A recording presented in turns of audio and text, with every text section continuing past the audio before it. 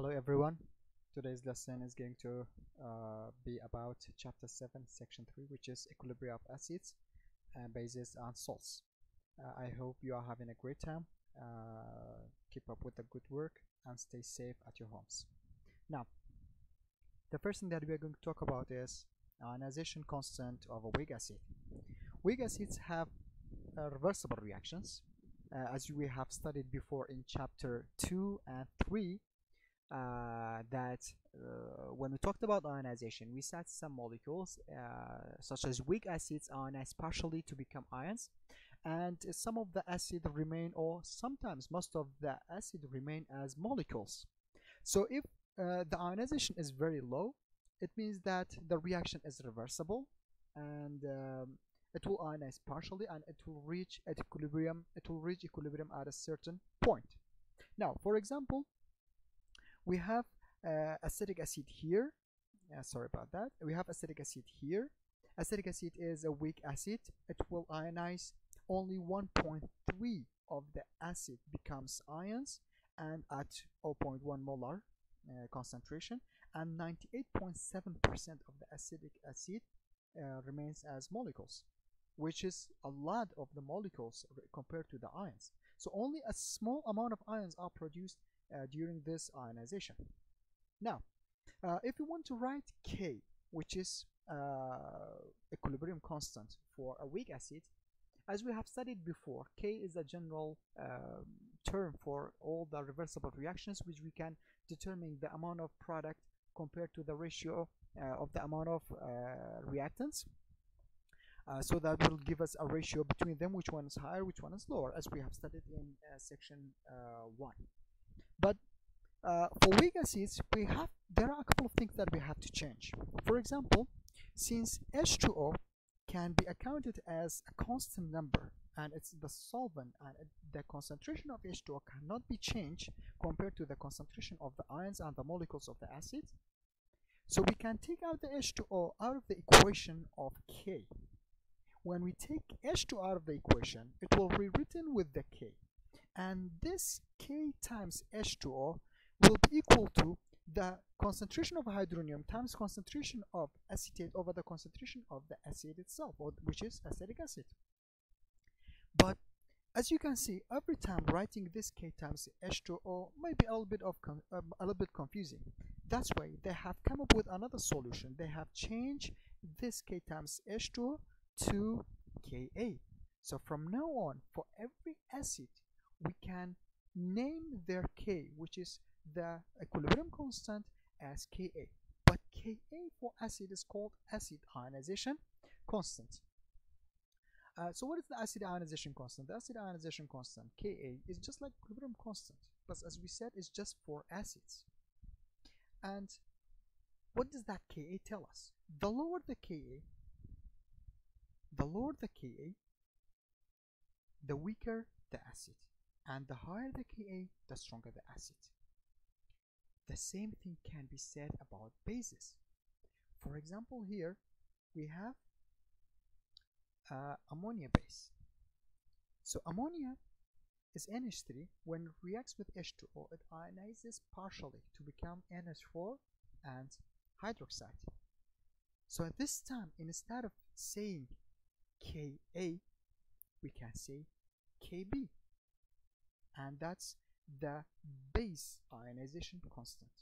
Bear in mind with that name base ionization, ionization constant.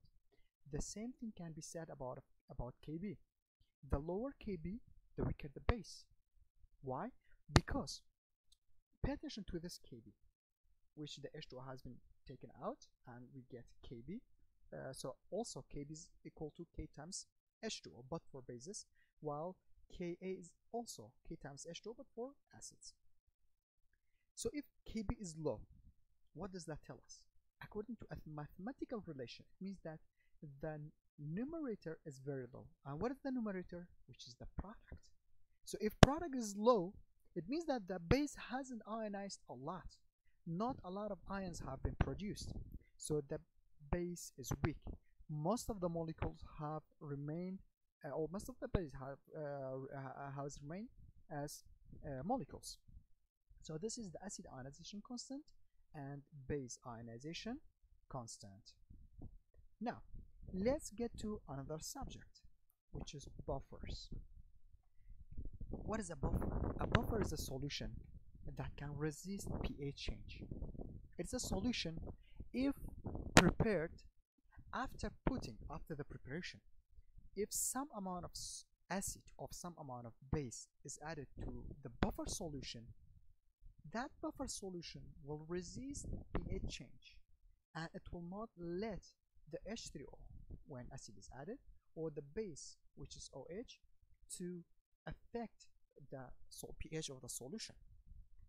This is useful for many uh, experiments in chemistry, even in biology. Uh, for example, in biology, we can talk about blood. For example, blood itself is a buffer solution. Uh, when uh, a small amount of acid or base uh, is added to blood, the pH of blood would not will not change and it will remain constant. But the thing that we are talking about here is only a small amount of acid or bases. So we have two types of buffers. First type of buffer, if the buffer is Uh, produced from or formed from weak acid and its salt. For every solution of buffer, there must be a weak acid and a salt with a common ion. So actually, the buffer is a weak acid at its common ion with some amount of common ion. And the salt that is added, that is used in a buffer solution with the weak acid is a basic salt. So basic salt is only used in a buffer solution that is formed from weak acid. Now, this is the solution of buffer. Here, this is the solution of buffer, which contains uh, the weak acid, which is, I have given you an example as HF, uh, which is at uh, equilibrium, has formed a reversible reaction. Also the salt, look at the salt. The salt is formed from Na and F, which is NaF. The Na has come from a strong base, the F has come from a weak acid, that's why the salt is a basic salt. Now, let's see the effect, the response for this buffer when some amount of acid or some amount of base is added to the solution. First, let's add some amount of a small amount of acid to a buffer solution which is formed from weak acid and salt. So the first one, like here. Now, by adding H3O, which is the small amount of acid, we have added uh, the acid here Now H3O is increased by adding the acid.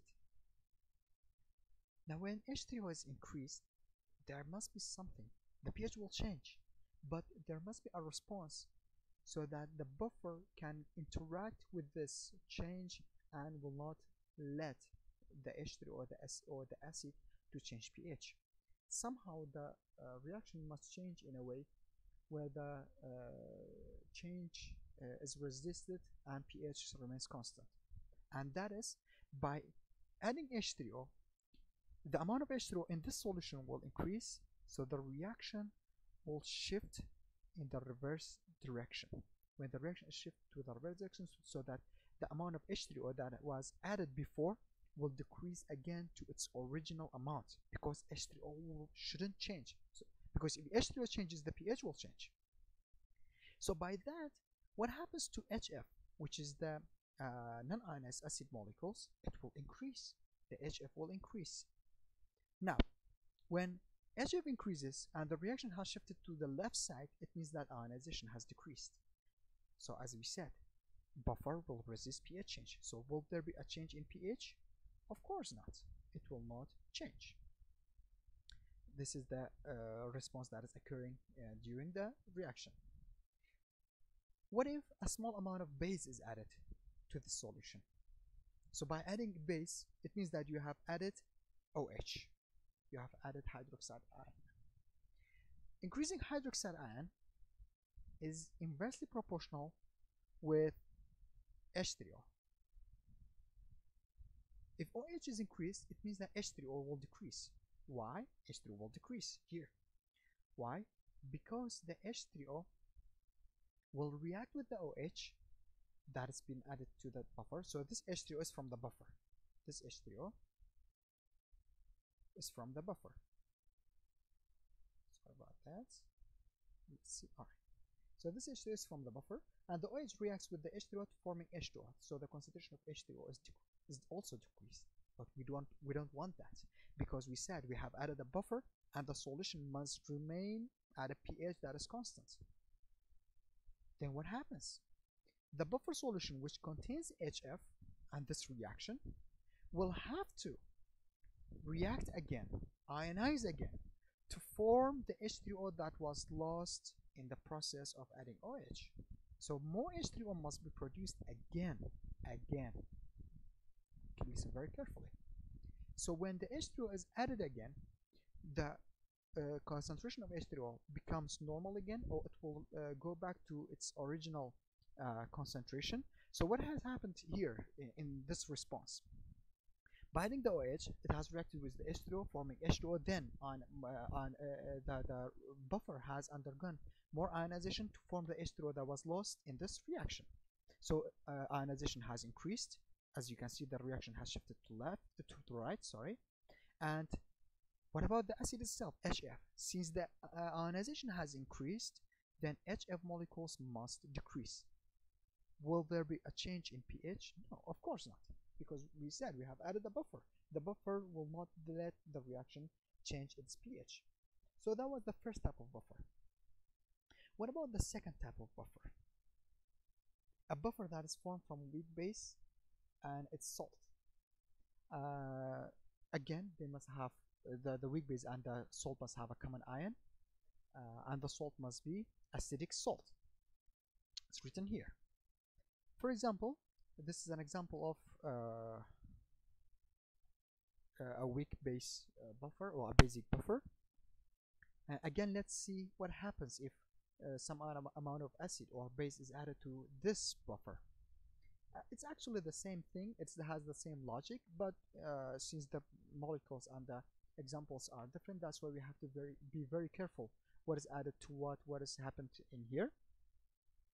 Uh, for example, if some uh, uh, if a small amount of acid is added to this buffer, this buffer, uh, if the acid is added, it means that we have added H H3O is increased.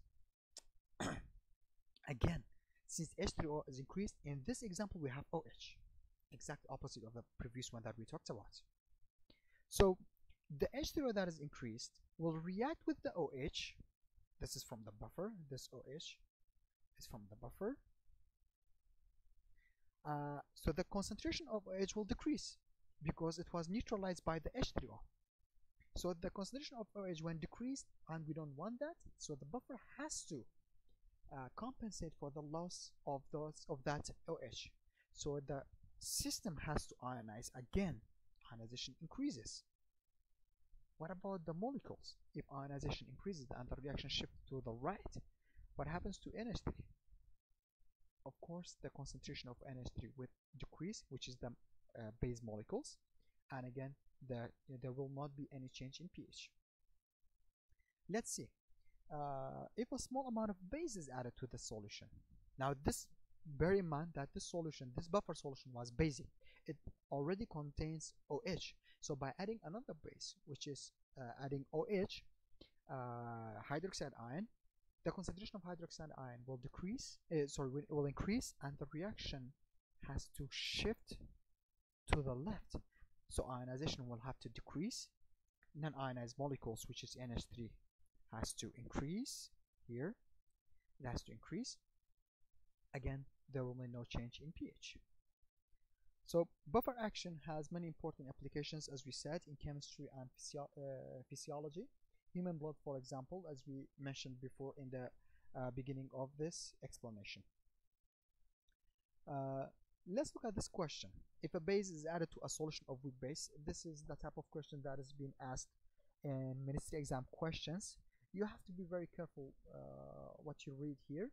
Uh, for example if a base is added to a solution of weak base and it's salt uh, base is added to base. So you are constant uh, increase the concentration of OH again inside the basic buffer because the buffer has been formed from weak base and salt and how do you know this question talks about buffer? Because it doesn't say anything about buffer. Look at here. Pay attention very carefully.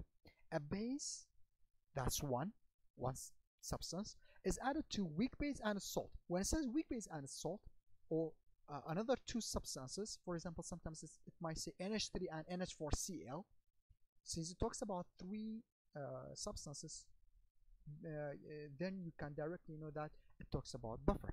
Now but uh, by adding a, ba a base like here to a basic buffer then the concentration of OH will in, uh, will increase and the reaction will shift to the left uh, ionization decrease non-ionized molecules increase. And let's see what is happening here. The chloride ions uh, ion increases. No more of the weak base ionizes now we said the reaction will shift to the left so ionization decreases. So that's not the correct answer. Also see more hydroxide ions form we said. You might think yes oh, more hydroxide ions form. In the response the hydroxide ion must decrease again because we are talking about pH change. The pH shouldn't change. So if OH is increased the pH will change. More water and non-ionized base form and that's the correct answer because the non-ionized molecule will increase. Of course the, some H2O is also increased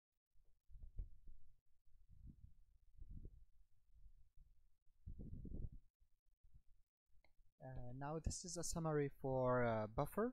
Uh, this is for you so that you can easily solve more questions in uh, Wazari for example here uh, you can see uh, I have uh, classified the buffer into two parts according to the addition of the acid or bases. For example, if acid is added to a buffer that is formed from a weak acid or a salt, or, and it's salt of course, uh, when the acid is added to this type of buffer, or a base is added to weak base and it's salt. So this is the buffer, like uh, the, the same things have been added to the buffer itself. For example, if you have a uh, acidic buffer, we have added an acid. If it's a basic buffer, we have added base. Now what happens? These are the responses that I've written here. This is just a summary. You can uh, check this out even before exams. This, these are very important. So ionization will decrease. Non-ionized molecules increase because the reaction will shift to the left and there will not be any change in the pH because you can see this is buffer and the exact opposite is also correct. If acid is added to a basic buffer so it's a base a weak base and a salt or a base is added to weak acid and a salt ionization increases because the reaction will shift to the right non-ionized molecules decrease and there will not be any change in pH of course. So you can uh, take this very very carefully uh, and solve any question that you want. Like most of the questions in ministry exam uh, actually can be solved by this summary uh, alone